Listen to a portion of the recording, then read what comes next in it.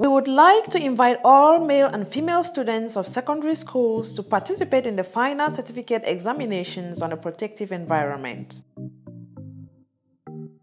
We all appreciate your awesome efforts during this challenging school year. You have persevered tremendously and we hope you're proud of yourselves. COVID 19 has forced all of us to do things differently this year.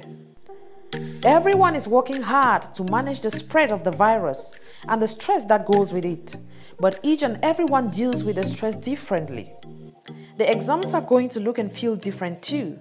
The most important rule is that any kind of violence is strictly prohibited.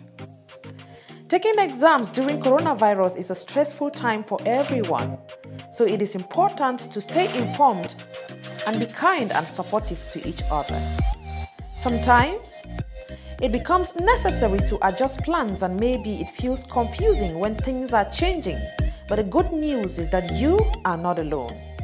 Both you and your teachers and examiners are responsible to wash hands, wear masks on the way to school and on school campus. Also, we want to remind you to make sure that you are using reliable sources to get information related to COVID 19, such as the government and the UNICEF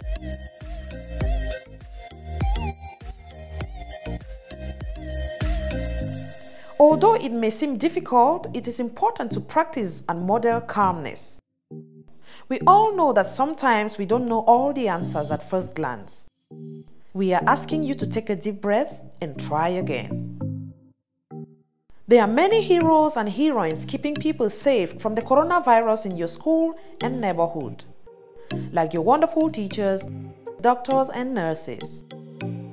You can also shift the spotlight, taking a role in fighting COVID 19 by volunteering to help or spread the word out about the importance of practicing preventive hygiene and social distancing measures. We are looking forward and need your enthusiasm and positive energy when you resume school in October. We know that you will do your best. Good luck in your exams.